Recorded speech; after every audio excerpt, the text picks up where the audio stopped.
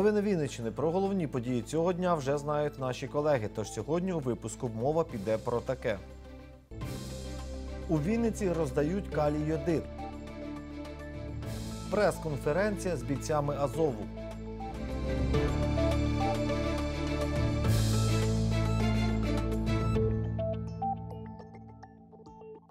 Законопроект про відстрочку від призову. Документ, внесений до Верховної Ради, передбачає розширений перелік категорій громадян, що мають відстрочку від призову.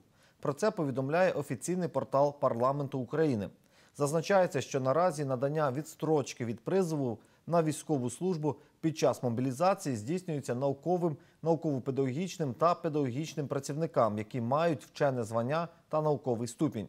Зміни передбачають отримання відстрочки вище зазначеним категоріям працівників, що не мають вченого звання та наукового ступеня. Також право на відстрочку планується надати і педагогічним працівникам закладів вищої та фахової передвищої освіти, що працевлаштовані за основним місцем роботи не менше як на 0,75 ставки. Проект закону направлений на збереження педагогічного та наукового кадрового потенціалу України. Школа зруйнована або знаходиться в окупації, а документи про освіту отримати потрібно.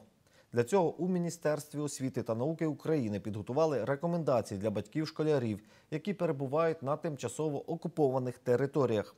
Насамперед, батькам потрібно подати заяву про зарахування до будь-якого закладу середньої освіти на безпечній території України. Далі завершити навчання та пройти оцінювання згідно з рекомендаціями Міносвіти. Свідоцтво про здобуття базової або повної середньої освіти замовляє та вручає заклад, до якого подано заяву про навчання. Якщо на час завершення навчального року навчальний заклад, який замовив випускникам свідоцтво, не функціонує внаслідок збройної агресії РФ, видачу свідоцтва та заповнення додатків до них може здійснити інша установа освіти. У разі відсутності результатів річного оцінювання після завершення навчання за освітньою програмою навчального закладу учень має право до початку навчального року пройти річне оцінювання та отримати документи про освіту. Набув чинності закон про спрощену процедуру реєстрації безробітні. Статус безробітного надається громадянам з першого дня реєстрації за їх особистою заявою без вимог до наявності підходящої роботи. На час воєнного стану внутрішньопереміщеним особам надаватиметься статус безробітнього без застосування звичайних вимог. Крім цього, зможуть зареєструватися внутрішньопереміщені особи, які не розірвали трудові відносини. Припинити трудовий договір вони можуть в односторонньому порядку, надавши до центру зайнятості заяву на ім'я роботодавця. Зі свого боку, центр зайнятості має повідомити про це роботодавця, пенсійний фонд та територіальний орган Державної податкової служби будь-яким засобом комунікації. Зауважимо, що датою звільнення вважатиметься наступний день після подання такої заяви.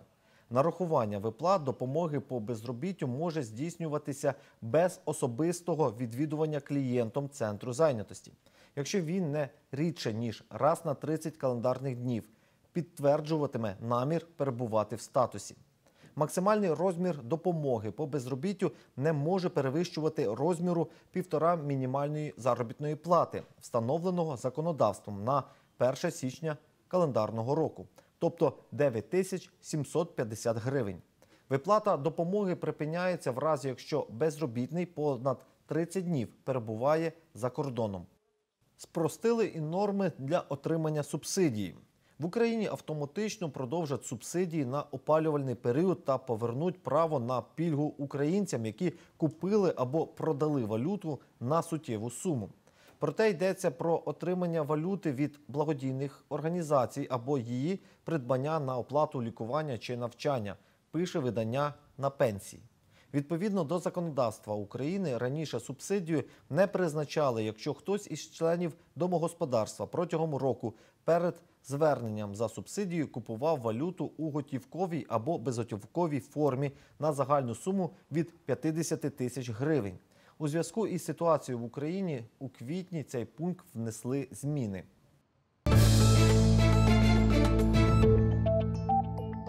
Поліцейські викрили діяльність смотрящого за колонією, який вимагав гроші у засуджених для наповнення общака.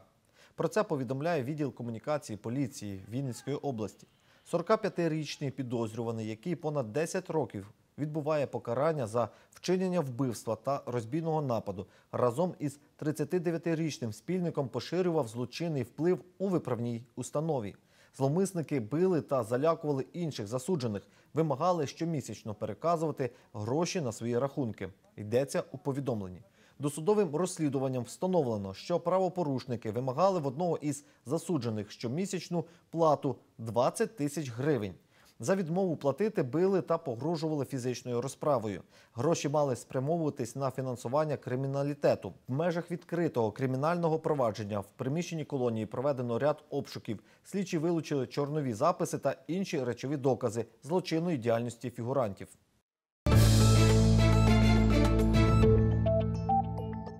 У Вінниці волонтери роздають безкоштовно таблетки калій-йодид. Цей препарат застосовується у випадку радіаційної небезпеки для захисту щитовидної залози. Таблетка здатна захистити людину від радіаційного йоду, а отже, від важких наслідків раку щитовидної залози. Від початку війни препарат не знайдеш у жодній аптеці. Проте Вінницький козацький полк імені Івана Богуна отримав сировину з Бельгії для виготовлення препарату в Україні. Калій-йодид зареєстрований в єдиному реєстрі лікарських засобів і має всі відповідні документи. Всі бажаючі можуть його безкоштовно отримати у волонтерському центрі з 13 по 19 у місті Вінниця по вулиці Кармелюка, 2.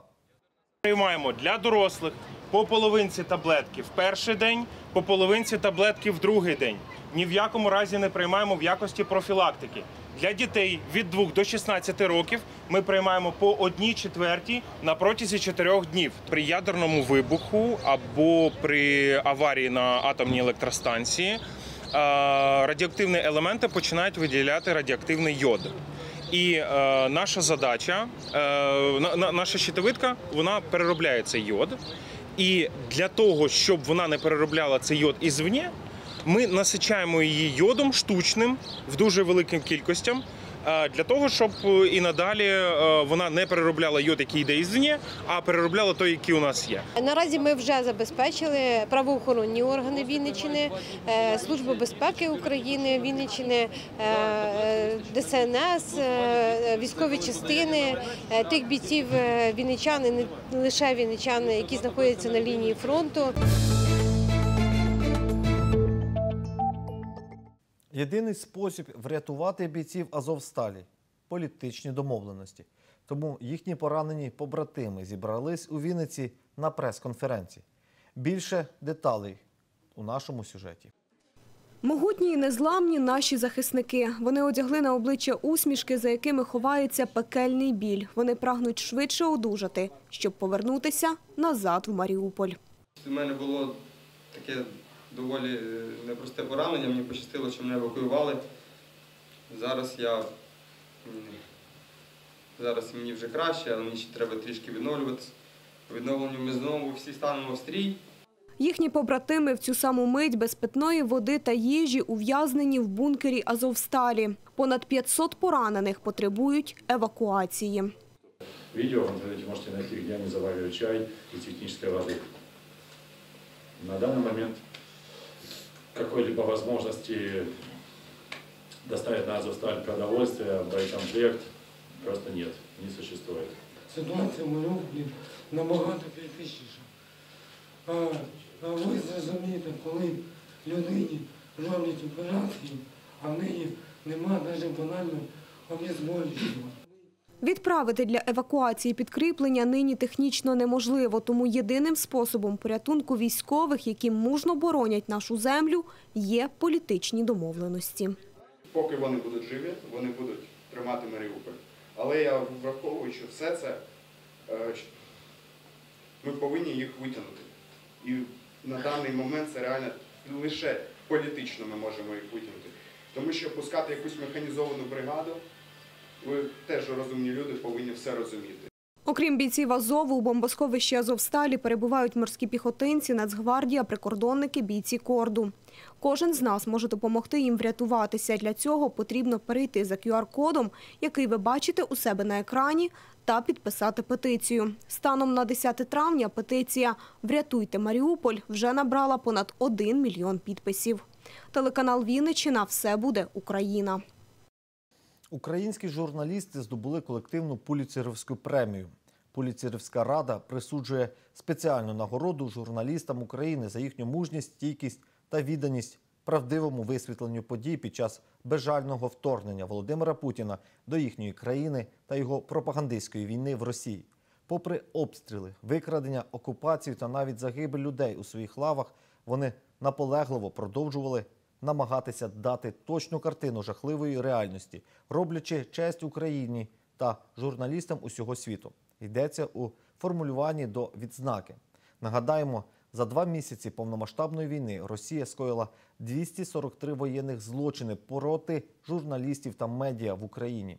Серед них вбивства, поранення, катування, переслідування, погрози, викрадення, полон, хакерські атаки на сайти українських медіа. Такими є дані моніторингу Інституту масової інформації. Станом на 24 квітня семеро журналістів вбито під час виконання професійних обов'язків, дев'ятеро поранено. Щонайменше 15 журналістів зникли безвісті. За даними Інституту масової інформації, з 24 лютого по 24 квітня 106 медіа припинили роботу через вторгнення Російської Федерації. Інститут зафіксував 19 погроз журналістам зі сторони окупантів, 11 обстрілів телевеж, 5 захоплень та нападів на редакції медіа, 8 випадків вимкнення українського мовлення, 28 кіберзлочинів. Але не дивлячись ні на що, ми продовжуємо працювати. Перевірену інформацію про події сьогодення ми публікуємо на нашій сторінці у Фейсбук та Телеграм-каналі. Якщо наша робота для вас важлива, ви можете підтримати нас коштами. QR-код для переказу знаходиться в правому куті екрана. Дякую, що залишаєтеся з нами. Все буде Україна з вірою у наші збройні сили.